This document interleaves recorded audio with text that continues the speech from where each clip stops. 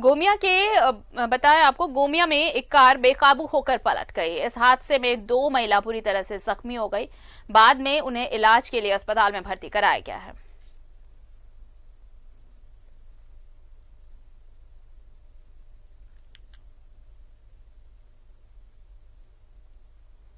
रास्ते में कहीं पे इसकी गाड़ी स्पीड की है, जिसकी वजह से कहीं पुल के बगल में जो दीवार बनी है उसमें जिसकी वजह से तीन आए हैं।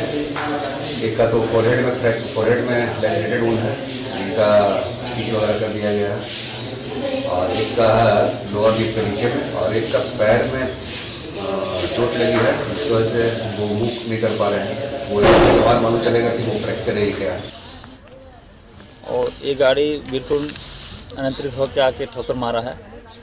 और इसमें चार से पाँच लोग बैठे हुए थे। और सभी लोग घायल है बुरी तरह से।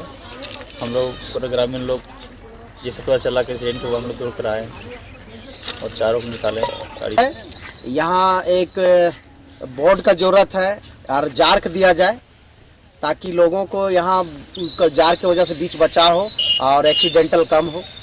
ये ज़रूरी है और हम लोग यहाँ का पब्लिक एक दिन दिन प्रतिदिन एक्सीडेंट देख रहे हैं यहाँ तिखा मोड़ होने की वजह से।